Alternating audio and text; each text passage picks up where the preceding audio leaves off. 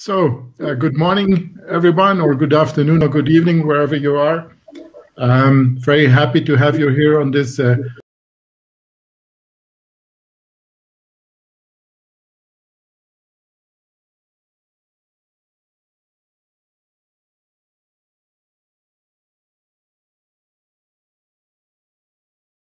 introduction to frugal innovation. Um, as you know, most types of innovation will focus initially on, let's say, high-end markets. Uh, what's special about frugal innovation is that you focus more on, let's say, um, mid markets or bottom markets. And that requires, let's say, a special uh, framework of thinking um, because there are some very specific challenges with that. Uh, one being, for instance, cost effectiveness, very important. So you have to think differently about it. The second part, which is very um, challenging sometimes, is how do you get your product to your customers? Because sometimes we're talking about remote areas, uh, like in India or Africa or South America, and that's not always obvious to do that. So um, we will talk about these things more in detail. First, we will give some examples of frugal innovation. After that, we will talk about specifically, let's say, the systems to support frugal innovation. And then we will uh, talk about the, the, financial aspects and delivery aspects also. Uh, and this will be the basis of the discussion. But before we do so, it's best um, we introduce the panel for today.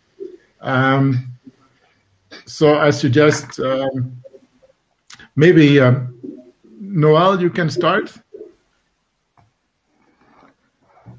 Thank you very much. Um, it's nice to be here, and I thank the organizer, Frank Jürgen Richter, for inviting me. My name is Dr. Noel Akpata, and um, I'm based out of Nigeria.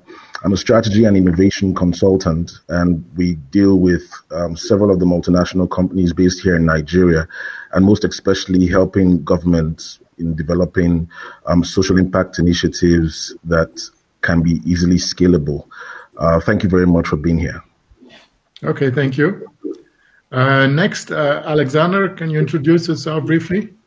Thank you very much, uh, ladies and gentlemen. Likewise, a pleasure to be here with this distinguished panel. My name is Alexander Malaket. I'm the president of Opus Advisory Services based in Toronto, Canada, and we uh, consult and advise on international trade, supply chains, and supply chain and trade related financing and risk. Thanks very much.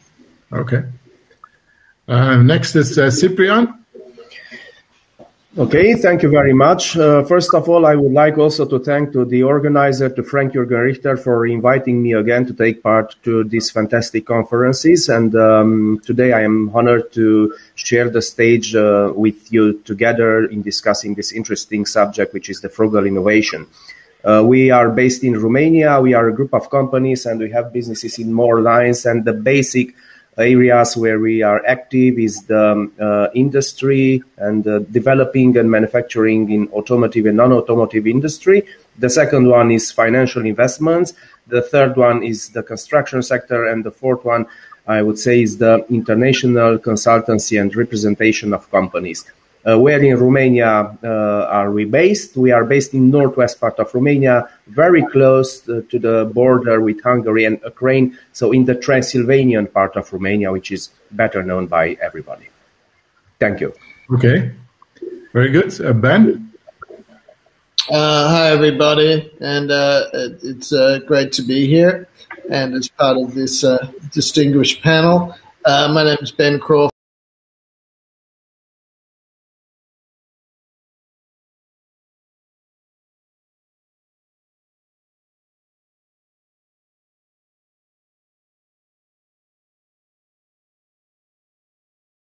And partnering with governments around the world.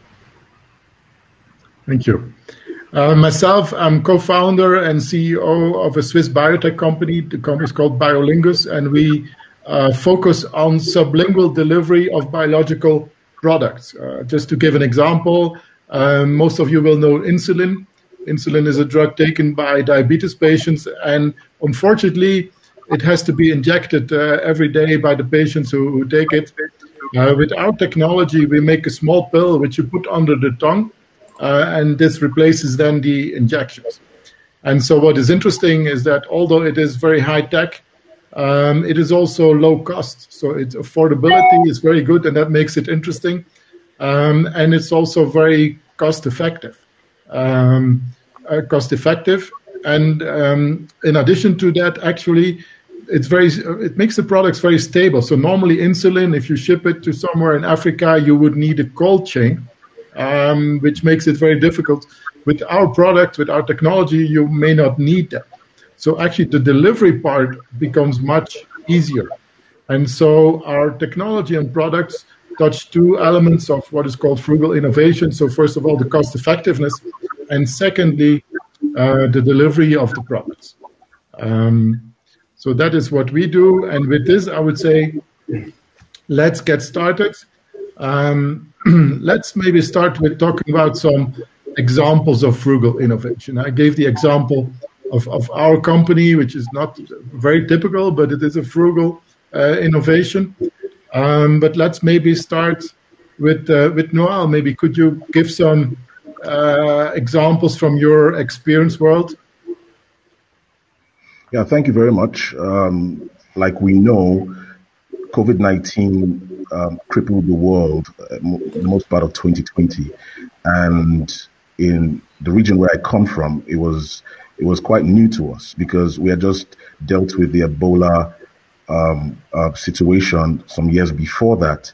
Coincidentally, I have a background in medicine. I, I my, my first degree is in medicine and surgery, uh, so I, I, I pretty much understood what it will take for a nation like Nigeria to deal with the pandemic.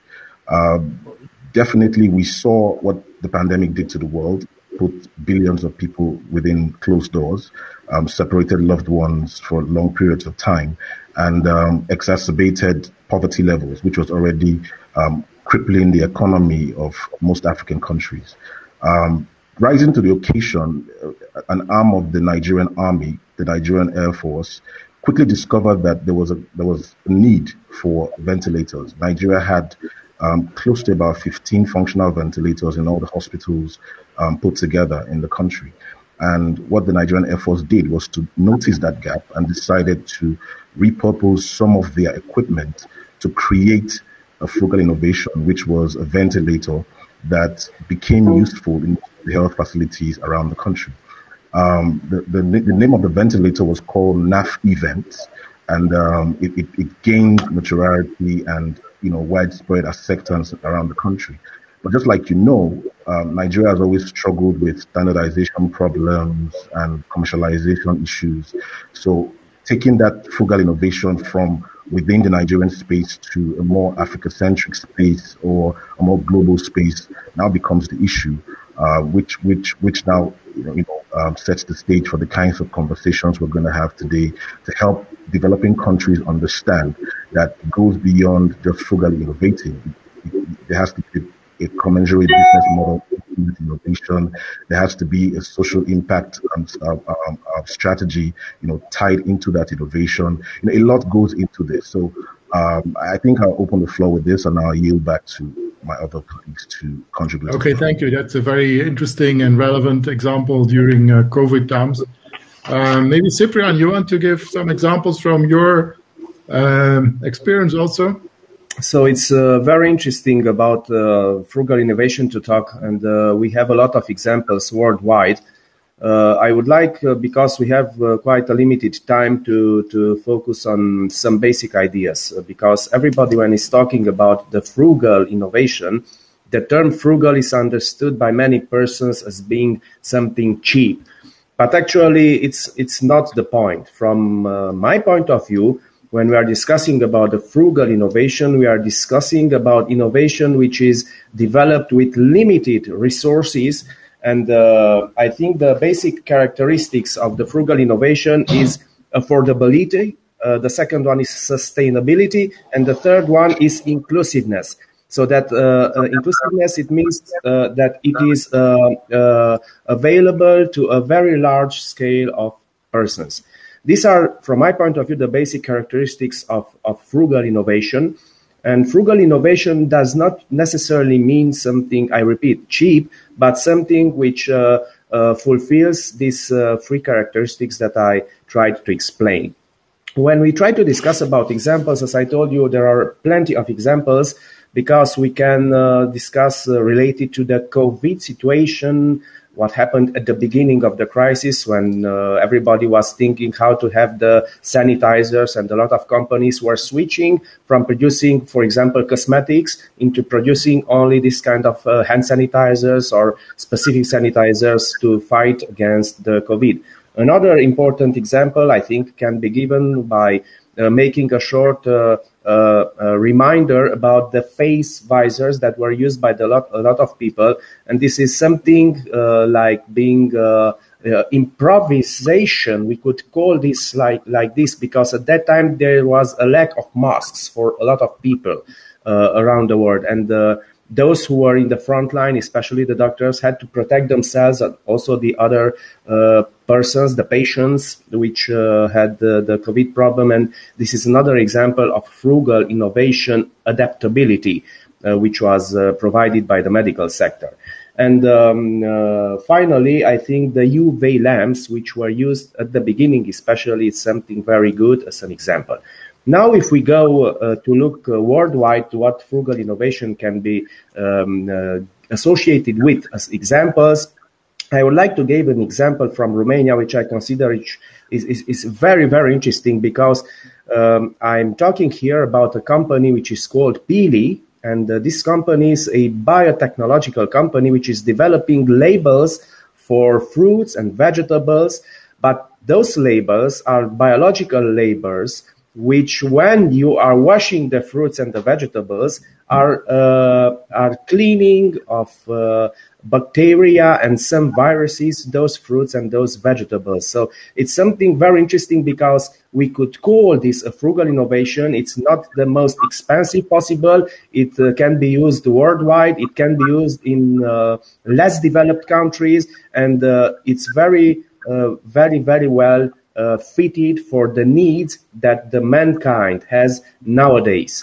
So this is something very interesting because you just take the label and you put on the fruits that you are using, and when you are using the uh, uh, the the the water to wash to clean the label. Uh, uh it's uh, I told you it's it's a kind of substance actually that label. it's cleaning those products and it's something that a lot of people in the world can benefit of. Yeah. Another example, and I will be very short about this. I was impressed. It was before the pandemic, and it was in Uganda. Uh, about a, a, boy, a student, a young boy, which was very concerned about the fact that about one third of the food is wasted in Uganda. And he tried to find a solution for stopping this for a lot of farmers, which cannot earn as much money as they could have if they would have enough uh, possibility for storage, for example. And he developed a product which is called a sparky dryer, but this sparky dryer, uh, which is really drying the products, uh, the fruits, the vegetables that they are harvesting in, in Uganda, is something so simple. Uh, it's actually uh, made of uh, all kind of plate sheets that he can find in Uganda, and it's very good. And for those persons, for those farmers which bought this product from his side, uh, the uh, income in some cases was raising about 400%. And why? Because those 30% of waste fruits and products which could not be stored and were just wasted uh, were dried. And uh, because the fruits and products were dried, they can uh, be stored for a long period of time, going from two, three days, which is we could say an average for the fruits and products uh, up to two years, depending on, on yeah. each type of fruits and products. This, uh, this is an example which yeah. uh, impressed me, and uh, it was before the pandemic. Yeah. Okay, so so you touched a very interesting point there, Ciprian, that uh, um, frugal innovation is not just about delivery or being very cost effective. Also, the way it is developed and sustainability uh, is an important element. and I can testify from our own company. So actually, the inspiration for our, let's say, technology in our company comes from nature. We looked at how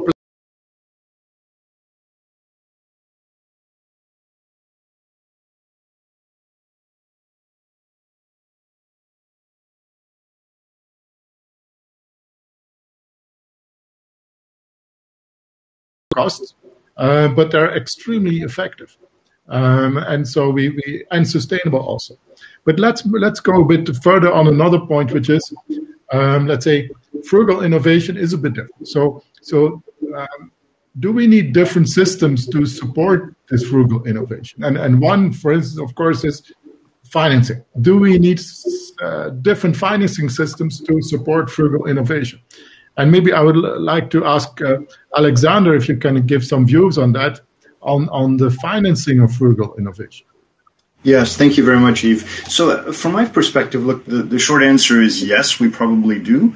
Um, there's also another answer, which is to say, and, and you've all made the point, uh, and Ciprian, in the way that you've framed it, your, your contributions as well, that it's when you talk about frugal, it's also it's partly a cost issue, but it's also an affordability issue, more broadly spoken.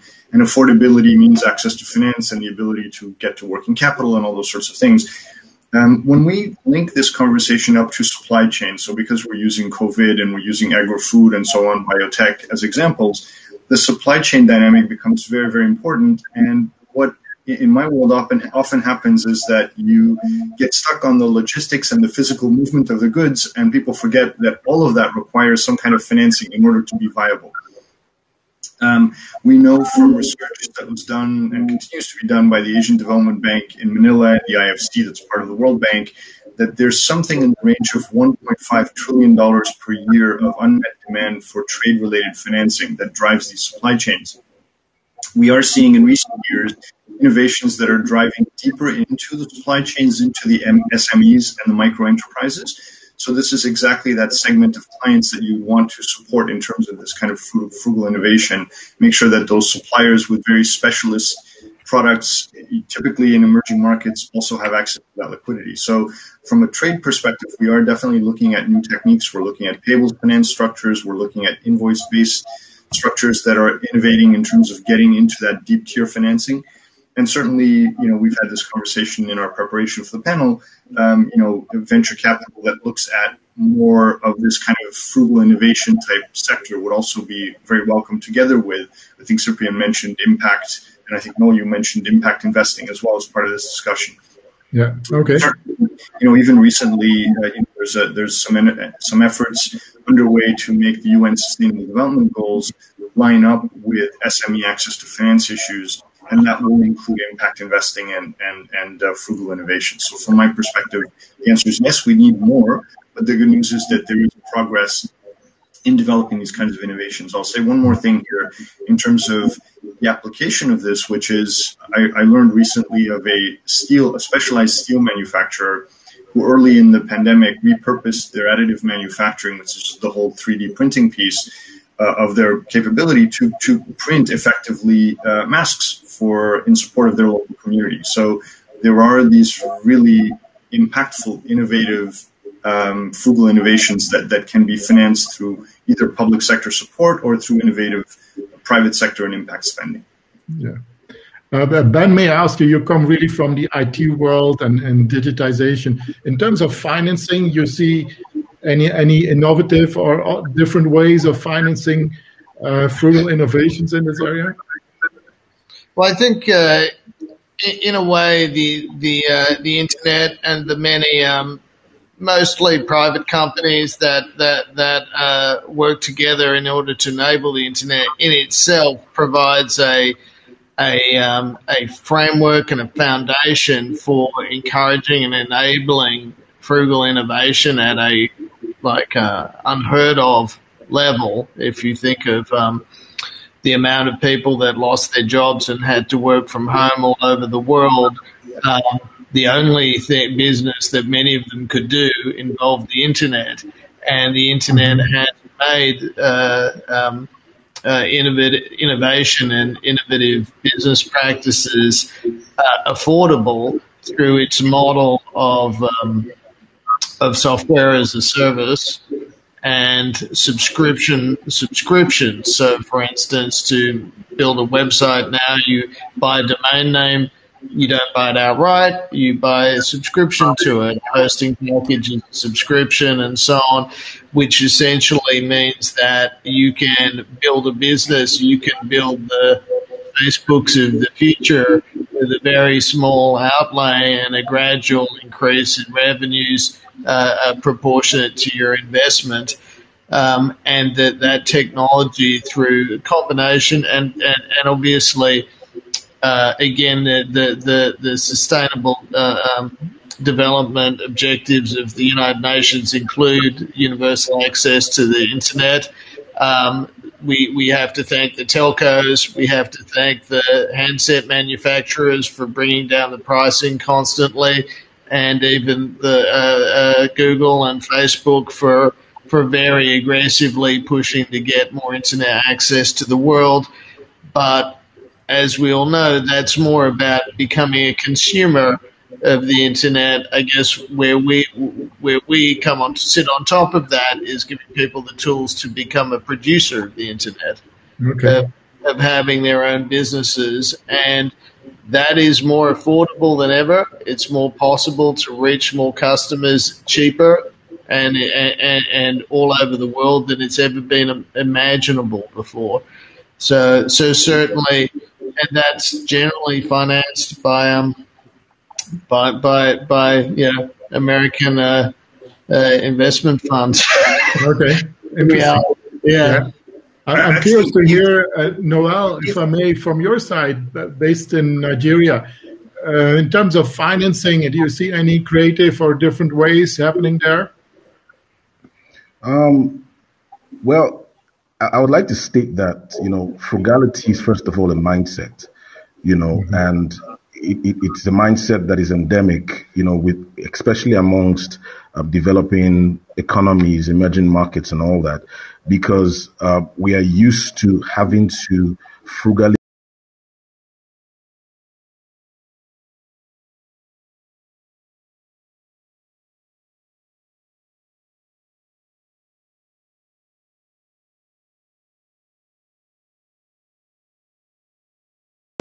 there is a gulf between um, the understanding from government and frugal innovation from you know the level of the people. Um, like I said, the ability of a frugal innovation to be wide to be adopted on a widespread level is primarily dependent on most of the support it receives, especially from government, um, venture capitalists, angel investors, and all that. Uh, right up until this time, I can tell you categorically, and I'll use an example. Um, there, there's a young gentleman who developed a frugal innovation in the electricity space. Um, I am the founder of the Nigerian Electricity Market Summit Group, which brings together most of the players in the electricity, in the electricity, electricity supply industry to discuss issues on an annual basis. And this young gentleman uh, created a generator that practically runs on water, 100% on water. And he tested the generator live on national television on one of the you know largest um, um, broadcasting houses in Nigeria, and it received widespread acceptance from the populace because, as you know, Nigeria, which is one of the largest um, economies in Africa, well, basically the largest economy in Africa, based on the recently rebased GDP figures, uh, Nigeria has a power problem. And this has been with us for quite a number of years, and we're not seeing the light at the end of the tunnel up until this point. Mm-hmm. So the, the whole country really accepted this young man's innovation. But I'll tell you that up until now, this young man has gone into something else because he received practically no support from most of the government organizations he approached. Um, I had to practically intervene to try to see how we could rally fi- financing and more education, more training um, towards his effort, which I'm, I'm, in, I'm currently in the process of doing right now. So you would you would see that in this part of the world, innovations, though widespread and not really supported um, by most of the funding institutions you have, uh, you know, scattered around the place. They would rather fund the Dangotes, they rather fund the BUA groups, they rather fund, you know, most of these big companies that yeah. already have an established structure, an established system of engaging with international markets. Yeah. They rather do business with those ones. So these are the problems we're having. So first of all, I would say that a national reorientation of the importance of frugality based on the impact of COVID 19, increasing poverty levels across the globe. The world just has to go frugal um, to mm-hmm. protect mm-hmm. our, our, environment, to protect our resources, and to protect a lot of other things, uh, a lot of other ancillary things going forward. So to, to drive that frugal mindset on a national level, governments across the globe need to understand where we are right now as a world and understand that frugality is the way forward. And nation states have to now develop national strategies around how to support frugal innovators and how to support frugal innovations to grow, you know, from, from just within their local spaces to a more um, um, to, to more global adoption. Yeah, these are some very interesting thoughts uh, uh, from your side, Noel. Maybe I can ask Ciprian. Ciprian, you're also active in politics. Can yes. you give us a bit a kind of, let's say, uh, national or even global politics view on, on this? Can global politics help here with frugal innovation or global financing? Yes, so uh, I, I think, and my point of view is that the politicians are interested in quick results because the uh, voting uh, moment, the elections are coming always in the next day. Of course, I'm uh, quoting uh, the next day can be one, two, three, or four years usually in most countries, but they are thinking to short time measures. Uh, from the business side point of view, the difference is that the businesses are thinking for a long time and um, for this purpose, I think, and I wanted to um, discuss this issue. Um, I want to propose, and uh, I think uh, each of us and uh, most of the participants in the Horasis Extraordinary Meeting can think about this.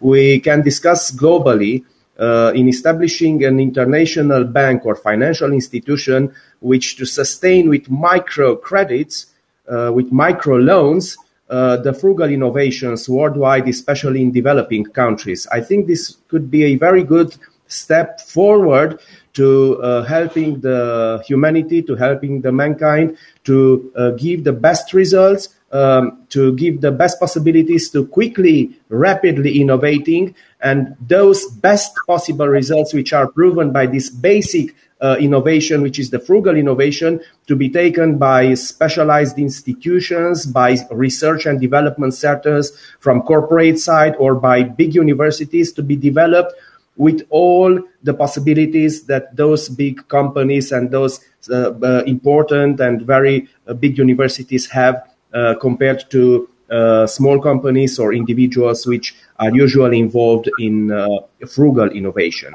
Uh, from political point of view, the politicians, I repeat, are uh, extremely interested in quick results, short-term results. But when we are discussing in developing the frugal innovation as a basic step for global innovation, for developing the research and development of whole the mankind, I think we can um, discuss more and even think about the possibilities of financing because this is a very important issue and. Uh, after we have the results from this basic level, we can further develop all the good results uh, with benefits for everybody. Yeah.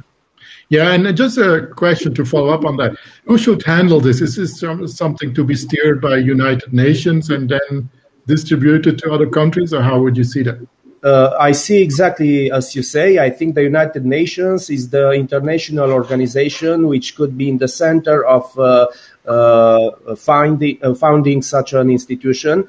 Uh, they have all the needed platforms to generate an international cooperation between member countries and uh, non-member countries because there are some jurisdictions in the world which are very developed and are not members in the United Nations, but to bring everybody together in um, this, uh, I think, noble purpose for everybody. Yeah, I think that's great. I think that would be a great suggestion, and maybe we should make that to Horasis or something like that, and they try to take that further. I will note that down.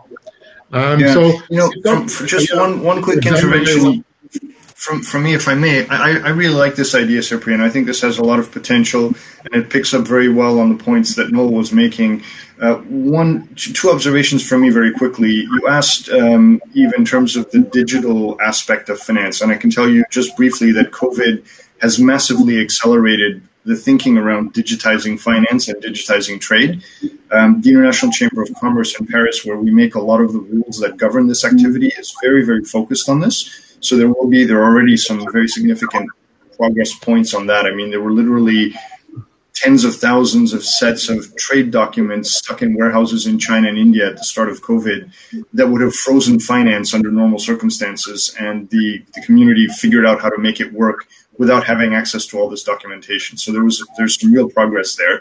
The second thing in Ciprian on your point about having the UN come in on this frugal financing, frugal innovation financing piece, I, I, agree. I think this is a good idea. There's another level of the conversation, which is the network of development banks that are out there that could help. So the African mm-hmm. Development Bank that is now in, I think it's in Abidjan, uh, the, the ADB in Manila, as I mentioned, the IFC in Washington. So there are these regional IFC is a global entity, part of the World Bank, and then there are the regional entities that do a lot of this mm-hmm. development finance work.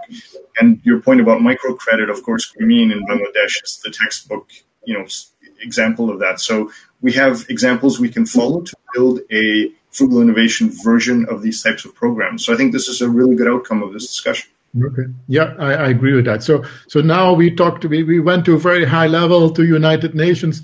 Let's drop down a bit to the earth again and talk about another aspect of uh, frugal innovation, which is very fundamental. It's the delivery.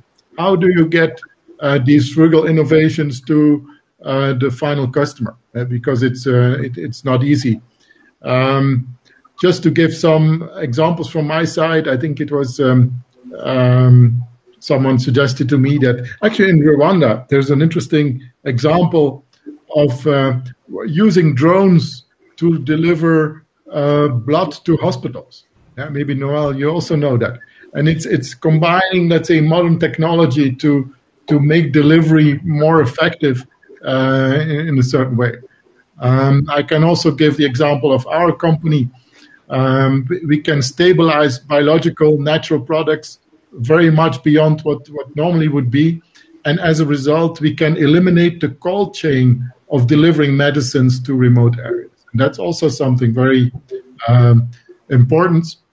Um, but maybe one aspect which we don't didn't touch on very much, I say, so Ben was disappearing, but it's uh, actually with regards to services. The internet has made a huge change in how we can deliver, services to the people. Uh, I want to ask Ben, but I will do that when he's come back. But digitization is important, and the use of apps is important. Does, does someone wants to comment on that? How we see that? it's um because the internet changed a lot of things. I can give an example of myself from the biotech world. There's a company called Qiagen. They develop diagnostic tests, um, for instance, for, for HPV. Uh, and so they develop tests adapted specially for Africa. Um, and now the delivery is not just a logistical delivery. They actually simplified the way that these tests, diagnostic tests, are used. Uh, they also changed the education so that actually the, the people locally with very little means and very little training can actually use these very sophisticated um, tools actually. So education is also part of it and, and how you deliver that. I mean, training is done by videos. These are things that, uh, let's say, before 20 years, uh, we couldn't think about that. Um, I don't know, Alexander. Yeah, I, I, agree. I mean, I think from my perspective, what i will be watching very carefully is the 3D printing and additive manufacturing space because having the 3D printer locally in developing and emerging markets, never mind in OECD economies, wherever, you know, you, you fundamentally redefine the logistics and the supply chain. You take away a lot of the cost and complexity, and you get a lot of um, the ability to effectively send – a schematic across the world and print that component or that item locally. And it can be anything from, as I mentioned earlier, something simple as a mask and something as complex as a, as a, as a, as an artificial piece of human body that you use for, you know, for, for, for, for injuries or amputations or whatever it is. So the range of potential of this additive manufacturing, I think, is tremendous. The scalability is starting to prove itself. And from a frugality point of view, from what I'm able to observe, the affordability of this infrastructure is starting to get to a place where we can start to think about it at scale. Yeah, excellent. So, so Ben, we had a question. We were talking about the delivery of frugal innovation, and you gave some examples of change logistics, education, and so on. But, but you, from as an expert in the IT world, could you give some examples of the impact of digitization in general to delivery, let's say by using apps or whatever things? absolutely. I mean, um, I mean, obviously, uh, digitization has uh, has has revolutionized and completely uh, um, destroyed a, a, lot of uh, industries that were based on manufacturing and so on. If you think about the music industry, the amazing transformation from uh, from manufacturing and shipping records, CDs, cassettes, and, and and the like all over the world with bricks and mortar stores and so on to simply having every piece of music ever recorded available on your telephone. It's uh, there. I, I can't imagine a more revolutionary change to a um, to distribution channels than that. Um, I would like to just uh, uh, step back a, a, little bit and talk one more thought on financing, and that is, um, you know, I, I, I, as a as the CEO of a, of a listed company, I, do absolutely feel that the private sector has has an important role in financing uh, frugal innovation as well. And in thinking about ways that government can affect that, I, I, it does occur to me the example of our, our contract with the uh, government of Slovakia, which has given us uh, the the has acknowledged our role as managing the national country code of Slovakia.sk.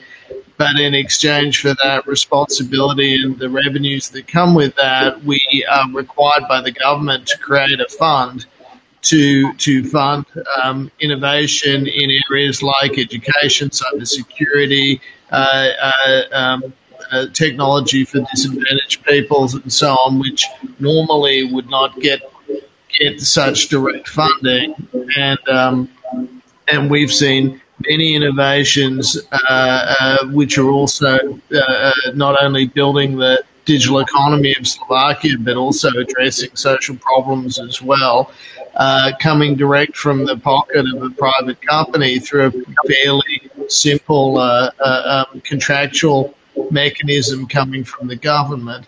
So I think that kind of creativity as well to bring in the private sector with its efficiencies and and and um, an understanding of the business requirements around innovation is something that, that we should also um, put on the agenda. Okay. So maybe uh, just a question for Noel also. From your side, do you see any specific challenge or, or more even better solutions for, let's say, delivery of these frugal innovations? It seems like screen has frozen a bit. Um, yeah. Um, yeah. Um, I, from our side, okay, go on. side uh, looking at is leveraging the, the, the digital more um, because that has a lot of access. It seems like while talking about digital delivery, we have a bit of a delivery problem. For a lot of things, uh, you're blanking out. Um, so I suggest maybe, unless Alexander, you have some comments on this topic. The issue of more telemedicine in the COVID nineteen. Okay. In the the connection is very bad. Um, Noah. Health. Can you hear me? Yeah. So I heard you saying telemedicine. That's indeed uh, an excellent uh, example actually of, of uh, let's say, um, in a certain way, frugal uh, delivery also in the medicine area. Um, so we are entering the last five minutes, and I would like to close this actually, and maybe if there would be further questions. So, as, as a kind of closure, I would ask, like to ask every one of you to make like a statement of your vision about frugal innovation. So, very briefly, something you feel strongly about that we should do with frugal innovation uh, as a kind of final message. Uh, maybe Ciprian, you want to start? Okay, I will start because I uh, wanted uh, to say anyway two words about the delivery of the frugal innovation results. And actually, my point of view, and this is connected to what I was proposing about that international financial institution or bank, like a special purpose vehicle for frugal innovation, I would like to point out that the, the, the most important things about the delivery are connected and are going around uh, some issues like the intellectual property of the uh, results of the frugal innovation. The second one is the uh, supply chains and the the third one is the involvement of the technological evolution in all these uh, uh, businesses mm-hmm. that can yeah. be actually seen as businesses. The, it's very important to see that when we have the intellectual property secured, this can be done when you have a good result of the frugal innovation, which is financed. And this is why I told you this is connected to what I was previously uh, talking yeah. about. The second thing that I want to, to emphasize is that the supply chains now can be seen. Everybody was talking now during the COVID crisis that the supply chains will be broken all over the world and the things will not work anymore.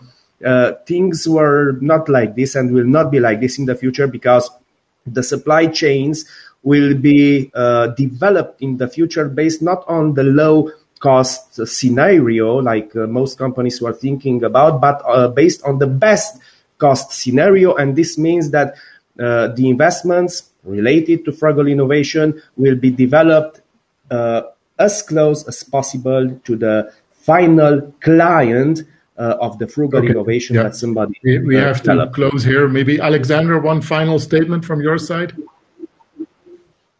Thank you, Yves. So my, my call would be to pick up on the notion that frugal innovation needs to become part of the mainstream from an awareness raising perspective, from a public policy perspective, from a financing perspective. So I think it needs to become uh, part of our mainstream thinking in terms of a post-COVID recovery. Yeah, very good. Uh, ben? Uh, yeah, I, I, guess I would I would finish by saying that um, the massive scale um, of infrastructure that's available through um, through internet technology has actually reduced the cost of innovation, of distribution, of uh, creation, of reaching people enormously. And um, and as that scale continues, the cost will reduce. But we need to make sure that um, those costs are being used and people are being trained and understand how to create and how to innovate using those tools and not simply use them for sending photos to their grandmothers and uh, watching cat mm-hmm. videos. Yeah, very good. Thank you. And from my perspective, I have a final comment also closely related to the one that Alexander was making that I also think frugal innovation should go mainstream. But what, what I mean with that is everyone who thinks about innovating a product or service should, as a kind of exercise, try to make its product or service frugal or think how he could do that. Because just the process of going, of thinking of how could I make my product or process frugal, I think it will make people very creative. Yeah. And you may end up with a frugal product or not, but just a thinking process is very valuable, I think, and everybody should try to embed it in the overall innovation process processes worldwide. With this, I would like to thank you very much. You were a great panel. I think we, we could uh, talk a few hours about this. It would be uh, very interesting. Um, and I hope we can have some takeaways also um, for Horasis as a group. Um, and for instance, the example that uh, United Nations should take a leading role in, let's say, uh, leading frugal innovation around the world I will uh, propose that to, to Frank Jurgen also to take that further up. So thank, thank you, you very much for this great uh, discussion, and I wish you a good day. Thank you, Yves. Thank you, gentlemen. Thank you. Bye bye. Bye bye.